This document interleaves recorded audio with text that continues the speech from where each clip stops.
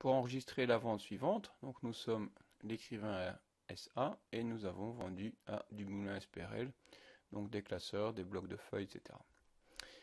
Donc au niveau de la numérotation nos tickets comptables, donc nous sommes au 3. La date, date de la facture, donc précisée au-dessus le 12 du 11 2014. Pièce justificative, donc il s'agit d'une facture. Facture, facture de vente si on veut être plus précis. Le code journal utilisé, donc ce sera vente, soit journal vente, soit on peut indiquer ceci, soit fac, puisque ce sont des, ventes à facturer. La nature de l'opération, donc ici, donc ce sont des ventes de quoi? Des ventes de marchandises. Et numéro de document, donc c'est numéro de la facture 2850. Les comptes qui interviennent, donc cette fois-ci, donc je vais avoir un client, et puis donc des montants hors TVA à la TVA. Donc j'ai dit classeur à 2,48, on effectue total donc un montant hors TVA de 77,80, un montant TVA de 16,34 et un total dû par notre client de 94,14. Donc j'indique 4 éventuellement voilà, client avec un 6 chiffres déjà. Donc comme c'est un compte d'actifs qui augmente puisque notre client nous doit nous achète 94,14€. Je vais avoir cette fois-ci des ventes. Alors soit on utilise donc le compte vente classique, on peut éventuellement donc ventiler, tout dépend un petit peu de la société dans laquelle vous travaillez. Donc on, a parfois donc des numéros donc 7001, 7002, 7003, 7004 en fonction du taux de TVA. Mais sinon on peut tout globaliser dans vente. Donc cette fois-ci c'est un compte de passif, pardon c'est un compte euh, de produit et donc ici il augmente au crédit 77,80 et bien sûr il y a la TVA qui elle est un compte de passif puisque nous devons la rembourser qui vient de 16,34 le contrôle du débit 94,14 et si j'effectue la somme de 77,96,34, j'arrive aussi à 94,14. Voilà donc pour euh, l'opération d'écriture donc du ticket comptable. Et donc tout ceci va être renseigné donc dans Bob. Dans Bob, on peut passer en codage comptable. On peut changer, venir voir ici aussi ce que ça donne comme écran. Hein, donc soit ici, soit hein, donc dans encodage individuel. Hein, donc euh, ici vente au choix. Donc encodage des ventes. Dans les ventes, il y a différents types à nouveau. Donc il y a les ventes, surtout vente facturation et vente EVA comprise. Donc je crois que le plus simple, c'est dès que vous avez une facture, donc avec le mot facture renseigné, donc vous utilisez le journal des ventes facturation. Et l'autre, c'est les ventes EVA comprises, donc c'est-à-dire toutes les ventes au comptoir.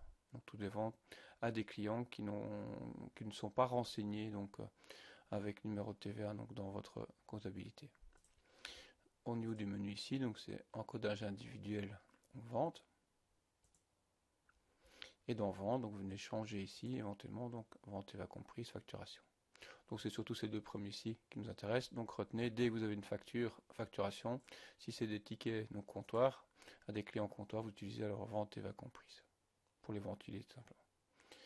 Donc facturation. Donc l'autre ici. Donc la période où je change bien, donc pour passer en novembre à nouveau. Le numéro de la pièce. Donc là ici, euh, je vais garder donc euh, le chiffre 1 maintenant. Donc c'est vrai que dans des entreprises, donc elles procèdent en, donc je vais avec le numéro donc ici. Donc on a donc une, numérotation donc automatique entre donc Bob et les factures. Donc comme ce n'est pas le cas ici, puisque 2850, donc je vais Gardez la numérotation incrémentale de Bob, donc laissez bien 1. Voilà, et donc j'indique ici en communication que c'est 2850. Donc le tiers, c'est la personne avec qui l'on traite. Donc dans le cadre ici d'une vente, donc c'est bien un client. Donc le client qui s'appelle donc du moulin SPRL. Donc du moulin, donc j'écris du moulin. Donc je vous rappelle, comme pour créer un fournisseur, donc vous pouvez ici cliquer sur le petit bonhomme, le créer, ou bien le créer au fur et à mesure en cliquant ici donc en, créant sa référence. Donc je veux continuer. Donc il m'indique société inconnue, voulez-vous la créer? Je mets oui. Ici il me demande le numéro de TVA.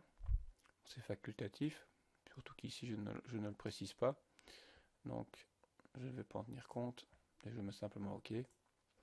Donc il m'ouvre bien la fiche donc, du moulin. Donc je peux ici renseigner alors d'autres informations du moulin SPRL par exemple éventuellement le nom 2, l'adresse si on le souhaite, donc rue 9, toute une série d'informations. 65, donc ici c'était 4020 Liège. Donc je peux écrire Liège. Allez voir ce qu'il me raconte donc dans les dans les Lièges.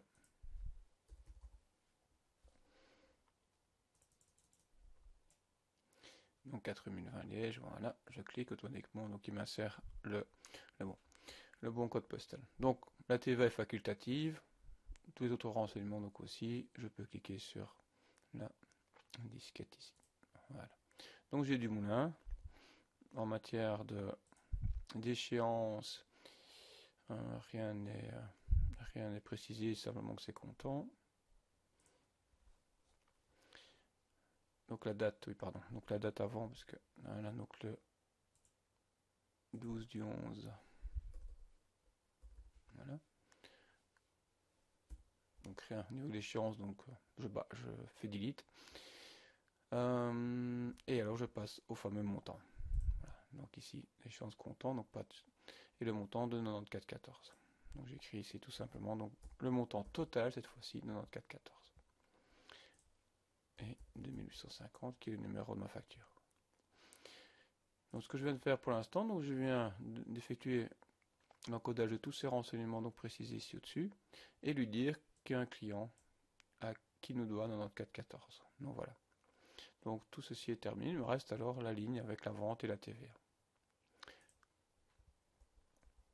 Donc le compte qui intervient, j'avais remarqué que c'était le compte cette, cette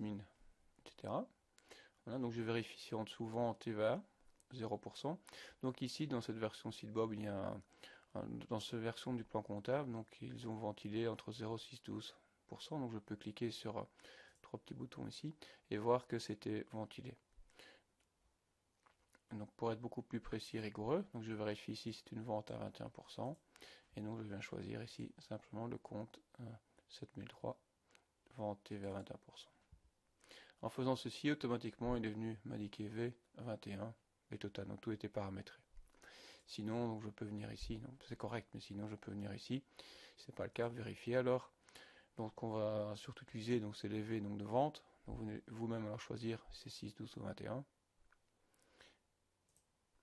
Et on vérifie quand même les montants bien sûr, 77, 80 et 16, 34.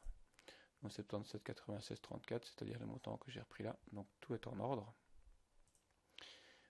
Bob ne me présente pas d'erreur au niveau du solde. J'ai la disquette ici pour me dire que tout est en ordre. Donc jette un dernier coup d'œil et puis je peux alors enregistrer. Je passe à la pièce 2 automatiquement. Donc je vais annuler la pièce 2. Je reviens sur la pièce 1 qui n'était pas encore alors euh, validée.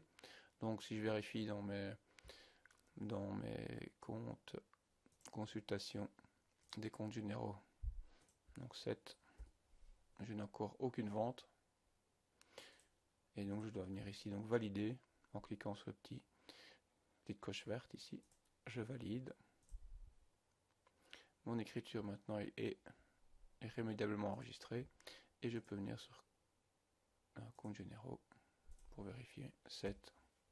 Et j'ai cette fois-ci ma vente qui était enregistrée.